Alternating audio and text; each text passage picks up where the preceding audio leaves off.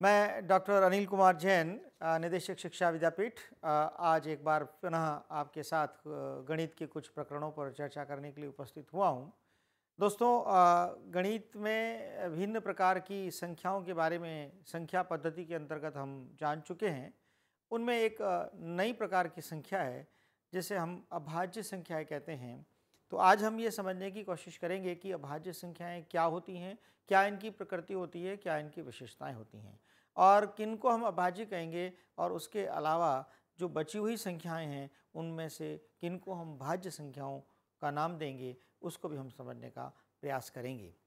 आ, दोस्तों हमने इन संख्याओं को नाना प्रकार से विविध प्रकार से समझने का प्रयास किया। इसकी चार मूलभूत संक्रियाओं का प्रयोग भी हमने किया, जिसमें आप जानते हैं योग, व्यवकलन, गुणन और भाजन। ये चार मूलभूत संक्रियाएँ हमने काम में ली। इसमें से जो गुणन की संक्रिया है, उस गुणन की संक्रिया से ही हम आगे यहाँ बढ़ने की कोशिश करेंगे और किस तरह से अभाज्य संख्या की प्रकृति निकल कर आती है, उसको जानने की कोशिश करेंगे। देखिए, आपने देखा कि दो प्राकृत संख्याएँ हैं तीन एक प्राकृत संख्या है और पाँच एक प्राकृत संख्या है, अगर हम इसका गुणा करते हैं तो हमको पंद्रह प्राप्त होता है।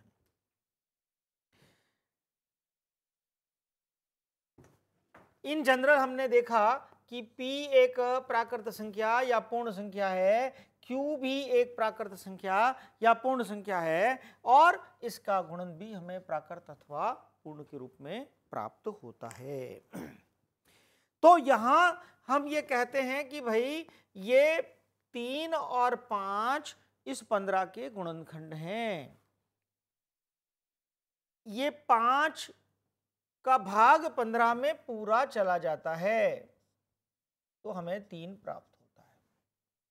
अर्थात हम यह कहते हैं कि पंद्रह भाजित पाँच बराबर यानी कि पंद्रह एक ऐसी संख्या है जिसमें किसी का भाग देने पर भी हमें कोई प्राकृत संख्या प्राप्त हो रही है। उसी भांति इन जनरल कहें कि आर बटा क्यू तो यहाँ पी मिला, जहाँ पी क्यू और आर तीनों प्राकृत संख्याएँ हैं, तीनों पूर्ण संख्याएँ भी हैं आर भागित क्यू करने पर हमें पी प्राप्त हुआ।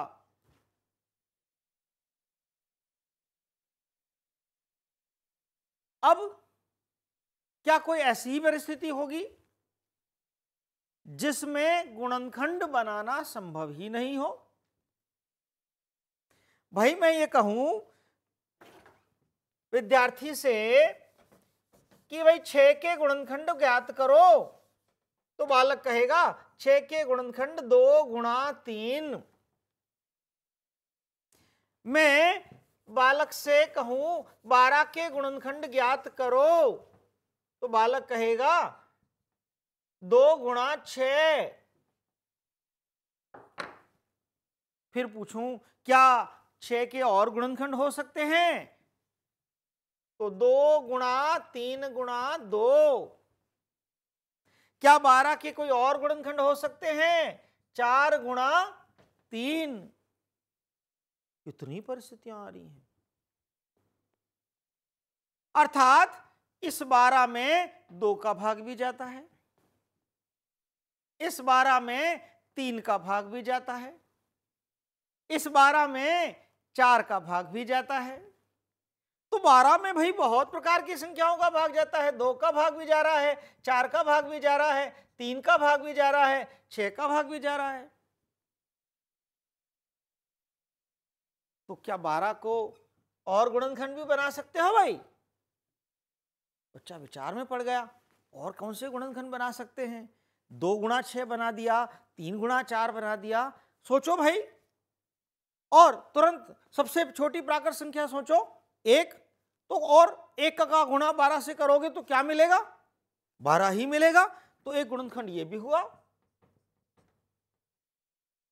इसका मतलब एक का भाग भी बारह में जाता है। अब ये बारह एक ऐसी संख्या हो गई जिसमें एक का भाग भी जा रहा है, दो का भाग भी जा रहा है, तीन का भाग भी जा रहा है, चार का भाग भी जा रहा है, छह का भाग भी जा रहा है। इतनी सारी संख्याओं का भाग जा रहा है। क्या कोई ऐसी संख्या आपको मिलेगी जिसमें बहुत सारी संख्याओं का भाग ना जाए? विचार कीजिए। तीन। छह के गुणनखंड तुमने किए, दो गुणा तीन। तीन के गुणनखंड करने का प्रयास करो, क्या मिलेगा? क्या और कोई संख्या मिलेगी? विचार करो। सोच में पड़ गए बालक। तीन में गुणनखंड करने का प्रयास करता है बालक तो उसको एक गुणा तीन के अलावा कुछ प्राप्त नहीं होगा। पाँच के गुणनखंड करने की कोशिश करता है बालक तो एक गुणा पाँच के अलावा कोई और गुणनखंड हो नहीं सकता। अब देखिए, जैसे बारह में एक का भाग जा रहा है, दो का भाग जा रहा है, तीन का जा रहा है, चार का जा रहा है छः का जा रहा है। याना कि बारह में बारह के अलावा ऐसी अनेक संख्याओं का भाग जा रहा है। लेकिन देखिए, विचार कीजिए, तीन में केवल तीन का ही भाग जाएगा और एक का ही भाग जाएगा। इसके अलावा और किसी संख्या का भाग नहीं जाएगा। वैसे ही पाँच में भी पाँच का ही भाग जाएगा, एक का ही भाग जाएगा और किसी संख्या का भाग नहीं जाएगा। इसका मतलब एक ये नई प्रकार की, नई विशेषताओं को लिए हुए हमें एक नई प्रकार की संख्या प्राप्त हुई। मित्रों, इस नई प्रकृति की इस गुण को रखने वाली इस संख्या को अभाज्य संख्या कहते हैं। अगर इसको हम परिभाषित करने की कोशिश करें तो परिभाषित करने की जो स्थिति इसमें बनती है, वो इस तरह से बनती है। देखिए, पुनः समझने का प्रयास कीजिए। मैं छोटी प्राकृत संख्या से आरंभ करता हूँ। एक का गुणनखंड एक इंटू एक। दो का गुणनखंड एक इंटू दो। तीन का गुणनखंड एक इंटू तीन। पाँच का गुणनखंड एक इंटू पाँच, सात का गुणनखंड एक इंटू सात। विचार कीजिए। इन सारी संख्याओं पर दृष्टिपात कीजिए। इसकी प्रकृति को समझने की कोशिश कीजिए। इस एक के अलावा ये सारी संख्याओं के गुणनखंड क्या बन रहे हैं? वह एक और स्वयं संख्या। अब देखिए, दोनों गुणनखंड अलग अलग हैं। दोनों गुणनखंड अलग अलग हैं। लेकिन यहाँ पर दोनों गुणनखंड अलग अलग नहीं है। इसलिए ऐसी संख्या जिसका गुणनखंड वह स्वयं संख्या और एक है और दोनों अलग अलग हैं, ये जो प्रकृति दिखाई पड़ती है, वह प्रकृति अभाज्य संख्या की प्रकृति कहलाती है। अर्थात अभाज्य संख्या की जो परिभाषा हुई कि एक ऐसी प्राकृत संख्या जिसके केवल दो भिन्न गुणनखंड, एक तथा संख्या स्वयं, ये जब आता है, तब वो प्राकृत संख्या कहलाती है। विचार कीजिए छ इसके गुणनखंड कर रहे हो तो क्या आ रहा है? दो और तीन। क्या परिभाषा में जो गुण लिखा हुआ है वो लागू हो रहा है? संख्या स्वयं और एक। कहा है? नहीं है ना? इसलिए प्राकृत संख्या नहीं। लेकिन नौ, तीन गुणा तीन, क्या यहाँ आ रहा है? संख्या स्वयं और एक। नहीं आ रहा है। इसलिए यह भी प्राकृत संख्या नहीं। लेकिन ग्यारह। ग्यारह के गुणनखंड कीजिए। क्या प्राप्त होगा? एक गुणा ग्यारह। संख्या स्वयं और एक। यानी कि ग्यारह प्राकृत संख्या है। तो ऐसी संख्या जिसके गुणनखंड व संख्या स्वयं और एक हो, वह सभी प्राकृत संख्याएँ कहलाती हैं। मित्रों, हम एक से आरंभ करें और चलते चले चलते चले चलते चले, सभी संख्याओं की गुणनखंड करते चले, हमको जिसमें भी वह संख्या स्वयं और एक, ये गुणनखंड के रूप में मिलेंगे, वही हमारी प्राकृत संख्या कहलाएगी। और आप फिर यहाँ ध्यान दीजिए, इधर नज़र डालिए, एक के गुणनखंड करें तो ये दोनों, यहाँ दोनों अलग अलग हैं, यहाँ दोनों अलग अलग हैं, लेकिन ये दोनों अलग अलग नहीं हैं। इसलिए एक प्राकृत संख्या है, लेकिन एक अभाज्य संख्या नहीं है। एक को अभाज्य संख्या के रूप में नहीं माना जाता। ध्यान दीजिएगा, सबसे छोटी प्राकृत संख्या कौन सी मानी जाएगी? सबसे छोटी प्राकृत संख्या दो मानी जाएगी। इस प्रकार प्राकृत संख्याओं को हम क्रम से चले तो दो, इसके बाद तीन, पाँच, सात, ग्यारह, तेरह, सत्रह, इस तरह से ये संख्याएँ चलती चली जाएँगी, चलती चली जाएँगी। और अगर हमने पहाड़ों का अभ्यास पूरा किया है तो हम अभाज्य संख्याओं को आसानी से ज्ञात कर सकते हैं हैं? जैसे मैं कहूँ, इस तेरह के बाद मेरे मन में आया चौदह चौदह को बोलूँ, किसी पहाड़े में आएगा, दो सत्य चौदह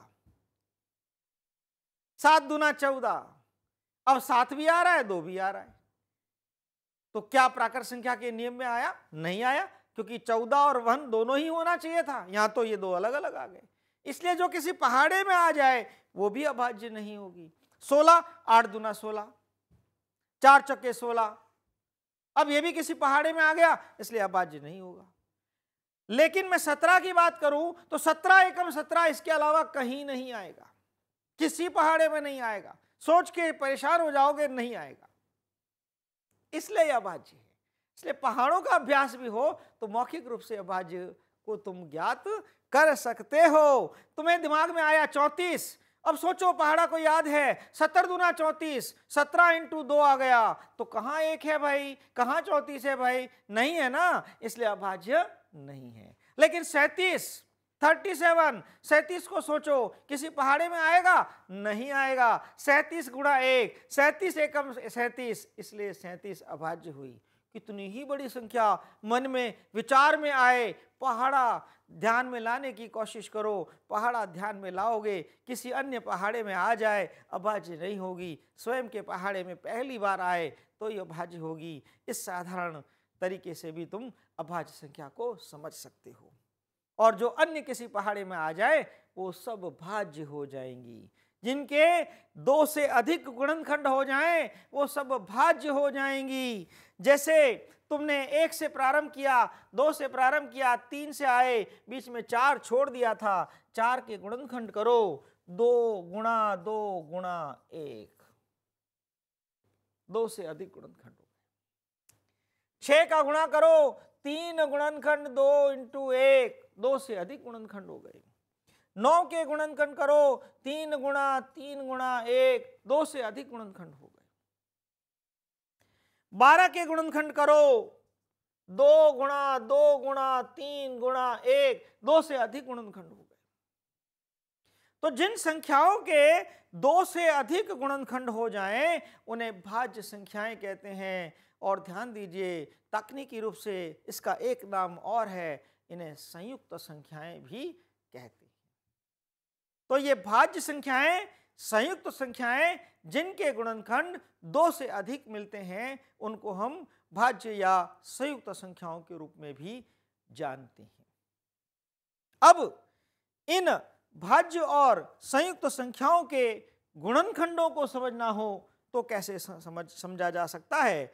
गुणनखंड आपने यहाँ मौखिक रूप से ज्ञात किए, गुणनखंड आप इस तरीके से भी ज्ञात कर सकते हैं। जैसे आपने 12 एक संख्या ली इसके गुणनखंड करना चाहते हैं। सबसे छोटे पहाड़े से आरंभ कीजिए। सबसे छोटा पहाड़ा कहाँ से आरंभ होगा? दो का पहाड़ा आरंभ होगा। दो के पहाड़े से आरंभ कीजिए। तुम अब दो का पहाड़ा बोलते चले जाइए। तुम्हें जहाँ बारह मिल जाए, वहाँ रुक जाइए। दो एकम दो दो दुना चार, दो तिया छः, दो चुके आठ, दो पचे दस, दो छंगे बारह। दो छंगे बारह तो क्या हुआ? दो छंगे बारह।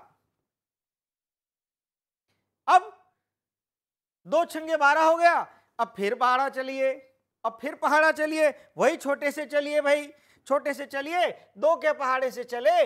दो कम दो दो दुना चार, दो तिया छ। छ आ गया ना? तो दो तिया छ, अब यहाँ तीन पे आ गए।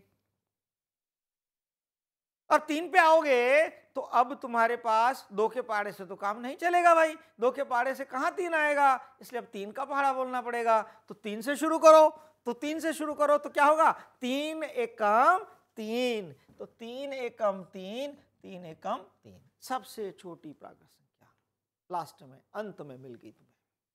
गुणनखंड समाप्त हो गए। तो दो गुणा दो गुणा, तीन गुणा एक, ये गुणनखंड मिल गए अब ये गुणनखंड तुम्हें मिल गए किसके? बारह के।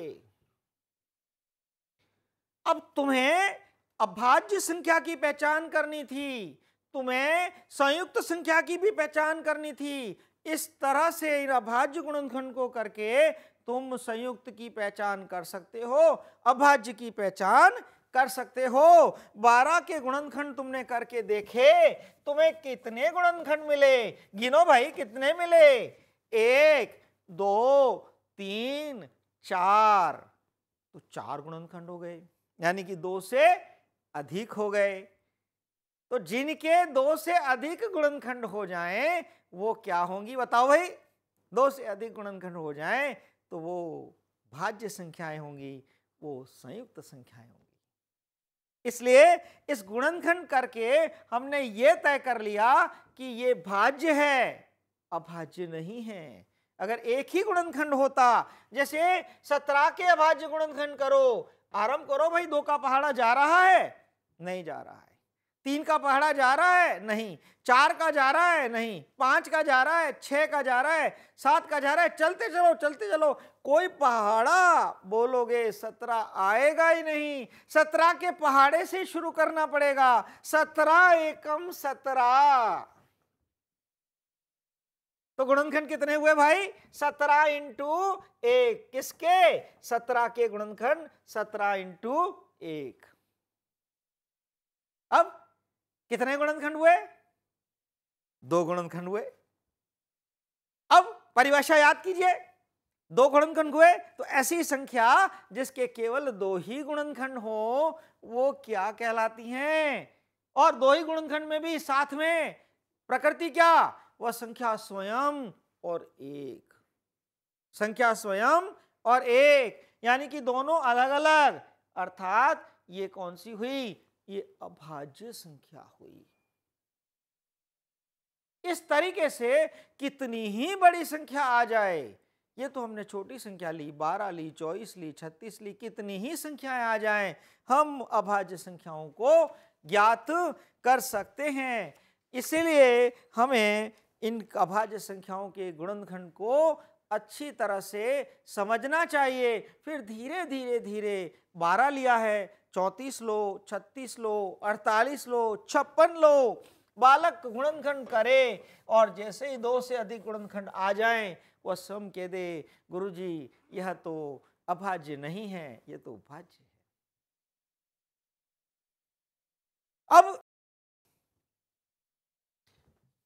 बड़ी संख्या उसके पास प्राप्त हो गई गुणनखंड कर लिए और करने के पश्चात उसने तय कर लिया कि ये भाज्य हैं या अभाज्य हैं। लेकिन इन अभाज्य और भाज्य में भी दो और प्रकार की संख्याएँ होती हैं। उनको भी हमें समझने की आवश्यकता है, उसकी विशेष प्रकार की प्रकृति होती है। देखो, अभाज्य संख्याओं के मैं क्रम को यहाँ लिखता हूँ। सबसे छोटी अभाज्य संख्या, अभी हमने अध्ययन किया, सबसे छोटी अभाज्य संख्या बताइए, क्या है? दो। तो सबसे छोटी अभाज्य संख्या है दो, फिर तीन, फिर पाँच, फिर सात, फिर ग्यारह, फिर तेरह, फिर सत्रह, फिर उन्नीस, फिर तेईस, है ना? फिर इकतीस हाँ फिर उनतीस, ट्वेंटी नाइन, उनतीस और फिर इकतीस, ऐसे क्रम से चलते चले जाओगे, चलते चले जाओगे, तुम्हें स्वयं कंठस्थ होने लग जाएगा, क्योंकि तुमने ये सब भाज्य संख्याएँ गुणनखंड करके ज्ञात की हैं। अब देखो, क्या तुम्हें कोई ऐसी दो अभाज्य संख्याएँ क्रमागत मिलती हैं, जिनमें दो का अंतर है? हाँ मिलती हैं भाई। कहाँ कहाँ मिल रही हैं? तीन और पाँच में अंतर कितने का? दो का। दोनों क्रमागत हैं? तो तीन पाँच का एक जोड़ा हो गया, जिसमें दो का अंतर है। पाँच और सात, ये दो क्रमागत अभाज्य संख्याएँ जिसमें दो का अंतर है। लेकिन सात और ग्यारह है तो क्रमागत, लेकिन दो का अंतर नहीं है। फिर देखो, ग्यारह और तेरह, ये दो क्रमागत अभाज्य संख्याएँ हैं। इसमें दो का अंतर है।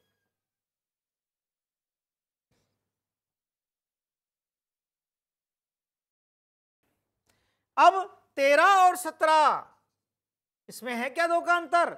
नहीं है। सावधान, हम कौन सी संख्याओं को देख रहे हैं? ऐसी अभाज्य संख्याएँ देख रहे हैं, जिनमें दो का अंतर है, इसलिए सत्रह और तेरह। ऐसी अनेकों अभाज्य संख्याओं का जोड़ा तुम इस श्रृंखला में से ढूंढ सकते हो, जिसमें दो का अंतर है और इसको एक नया नाम दिया गया, है ना? ऐसी दो अभाज्य संख्याएँ, जिनमें केवल दो का अंतर है, उसको यमज अभाज्य संख्याएँ कहते हैं। ट्वीन प्राइम नंबर अंग्रेज़ी में इसका नाम है। यमज अभाज्य संख्याएँ कहते हैं। ये इसकी विशेषता है। इस विशेषताओं को पहले उदाहरण के साथ समझाओ और उसके बाद उसका नामकरण करो। विद्यार्थी भूलेगा नहीं। ऐसी दो क्रमागत अभाज्य संख्याएँ जिसमें दो का अंतर है। वे अभाज्य संख्याओं का जोड़ा युग्म यमज अभाज्य संख्या के रूप में जाना जाता है। ये संप्रत्यय बालक के सामने स्पष्ट हो चलेगा। अब एक और नया संप्रत्यय अभाज्य संख्याओं के संदर्भ में ही बालक के सामने उपस्थित होगा, उसको भी हम समझने का प्रयास करते हैं। मित्रों, आप जान, आप जानते हैं, अभाज्य का मतलब है कि किसी में भाग न जाए। अभाज्य का मतलब है किसी में भाग न जाए। अब भाग न जाए तो वो अभाज्य हुए। लेकिन ऐसी स्थिति भी तो हो सकती है कि आपस में भाग न जाए। अब आपस में भाग न जाए तो एक संख्या है आठ। उदाहरण के लिए हमने ले लिया। आठ, एक संख्या ले ली हमने सत्ताईस। आठ खुद क्या है? बाज्य संख्या है। क्यों? इसमें दो का भाग जा रहा है। इसमें चार का भाग जा रहा है। इसमें खुद आठ का भाग जा रहा है। अरे भाई, ये तो भाज्य है। सत्ताईस? ये खुद भी भाज्य है। तीन का भाग जा रहा है। नौ का भाग जा रहा है। सत्ताईस खुद का भाग जा रहा है। कोई बात नहीं। खुद भाज्य है तो कोई बात नहीं। लेकिन देखो, विचार करो, क्या सत्ताईस में आठ का भाग जाता है? बोलो आठ का पाड़ा आठ एकम आठ आठ दूना सोलह, आठ तिया चौबीस। और आठ चौका बत्तीस। अरे, कहा सत्ताईस तो आया ही नहीं, बत्तीस पे आ गए। आठ का भाग सत्ताईस में नहीं जाता है। आठ में सत्ताईस का भाग जाता है, नहीं जाता है। तो दो संख्याओं का ऐसा जोड़ा, ध्यान से समझिए दो संख्याओं का ऐसा जोड़ा जिनका आपस में एक दूसरे में भाग नहीं जाए। वह जोड़ा सह अभाज्य संख्या के रूप में कहलाता है। देखिए, इसके दो नाम हैं। सह अभाज्य के रूप में कहलाता है या दूसरा नाम एक और भी कह देते हैं, असहभाज्य। असहभाज्य। ये अ यहाँ आ गया, ये अ यहाँ आ गया, अर्थ दोनों का समानी है। अर्थ यह है कि दोनों का आपस में भाग नहीं जाए, इसलिए उसको सह अभाज्य के रूप में जानते हैं। ये विचार कीजिएगा। इसके अलावा देखिए, आपके सामने दूसरी परिस्थिति भी आ सकती है। आप एक ले लिया आपने आठ और दूसरा ले लिया तीन। बच्चे से पूछिए, आर्ट क्या है? अब बच्चा अभ्यास कर चुका है। बच्चा विचार करेगा, आर्ट के गुणनखंड लाने की कोशिश करेगा, किसी पहाड़े में ढूँढने की कोशिश करेगा और कहेगा, दो चुके आठ चार दुना आठ ओहो, इसमें तो दो का भाग भी जा रहा है, इसमें तो चार का भाग भी जा रहा है, इसलिए आठ स्वयं एक भाज्य है। तीन कौन सी है? बच्चा स्वयं कहेगा, तीन अभाज्य है। अब ये एक ऐसा जोड़ा है, इसमें एक भाज्य हुई, दूसरी अभाज्य हुई। लेकिन आपस में विचार करो, आठ में तीन का भाग जा रहा है क्या? नहीं जा रहा है। तीन में आठ का भाग जा रहा है क्या? नहीं जा रहा है। तो ऐसी संख्याओं का जोड़ा जिसमें आपस में भाग नहीं जाए। चाहे वो भाज्य हो या अभाज्य, उसकी चिंता करने की हमें आवश्यकता नहीं। यानी कि इस जोड़े में ये दोनों भाज्य भी हो सकती हैं, ये एक भाज्य और एक अभाज्य भी हो सकती है, दोनों अभाज्य भी हो सकती हैं। देखो, एक ऐसा जोड़ा लेते हैं। आप ये तीन ले लो, ये सत्रह ले लो। अब देखो, सत्रह में क्या तीन का भाग जाता है? नहीं जाता है। क्या तीन में सत्रह का भाग जाता है? नहीं जाता है। विचार करो, किसी पहाड़े में नहीं आएगा। अब देखो, तीनों जोड़े की प्रकृति देखो। यहाँ दोनों क्या हैं? बोलो, भाज्य है। यहाँ दोनों क्या हैं? एक भाज्य है, एक अभाज्य है। यहाँ दोनों क्या हैं? दोनों अभाज्य हैं। यानी कि इस जोड़े में दोनों भाज्य हो। एक भाज्य, एक अभाज्य हो, पहली अभाज्य, दूसरी भाज्य हो। चिंता करने की ज़रूरत नहीं। देखना क्या है? आपस में भाग जाता है कि नहीं जाता है? आपस में भाग नहीं जाना चाहिए, तभी वह सह अभाज्य कहलाएँगी। आठ में तीन का भाग नहीं जाता, तीन में आठ का भाग नहीं जाता। सत, तीन में सत्रह का भाग नहीं जाता, सत्रह में तीन का भाग नहीं जाता। तीनों परिस्थितियों में आपस में यह भाजित नहीं है। अतः संख्याओं का ऐसा जोड़ा जो दोनों आपस में एक दूसरे से बाजित नहीं होंगे। अभाज्य संख्याओं के अंतर्गत सह अभाज्य संख्याओं का जोड़ा या असहभाज्य संख्याएँ के रूप में जाना जाता है। अर्थात इसका अगर हम एक उभयनिष्ठ गुणनखंड लाने की कोशिश करें तो एक के अलावा कुछ भी नहीं आएगा। आठ और सत्ताईस में गुणनखंड करें तो आठ इंटू एक, सत्ताईस इंटू एक, यानी कि उभयनिष्ठ गुणनखंड क्या हुआ? एक। आठ इंटू तीन में करें तो आठ इंटू एक और तीन इंटू एक, उभयनिष्ठ गुणनखंड क्या हुआ? एक। अर्थात, इन सह अभाज्य संख्याओं के जोड़े में उभयनिष्ठ गुणनखंड एक होता है। इस तरह से हमने अभाज्य संख्याओं के अंतर्गत ये दो नई प्रकार की संख्याओं को भी समझने की कोशिश की। दोस्तों, ये संख्या पद्धति अपने आप में बहुत विस्तारित रूप लिए हुए है, लेकिन जितनी गहराई से, अभ्यास के माध्यम से छोटे छोटे उदाहरणों के माध्यम से हम बालक के सामने रखते चले जाएँगे तो धीरे धीरे धीरे ये जटिलता, सरलता का रूप धारण करती चली जाएगी। देखिए, हमने नए जटिल संप्रत्यों को कितना आसानी से बालक के सामने रखा। आशा है आप सभी अध्यापक लोग अपने धैर्य को रखते हुए, बालक के स्तर पर जाकर इन संख्याओं को इतने सरलतम रूप में आप बालक के सामने प्रस्तुत करें, उसके दिल में, उसके हृदय में प्रविष्ट कराएँ, संख्याएँ उनके साथ मनोरंजन करेंगी, संख्याएँ उनके साथ आनंद करेंगी, संख्याएँ उन्हें कभी डराएँगी नहीं। संख्याएँ उनके जीवन का अंग हैं, इसलिए संख्याओं को उनका मित्र बनाइए, संख्याओं से प्रेम कराइए, गणित से प्रेम करेंगे। इसी आशा के साथ एक बार पुनः धन्यवाद।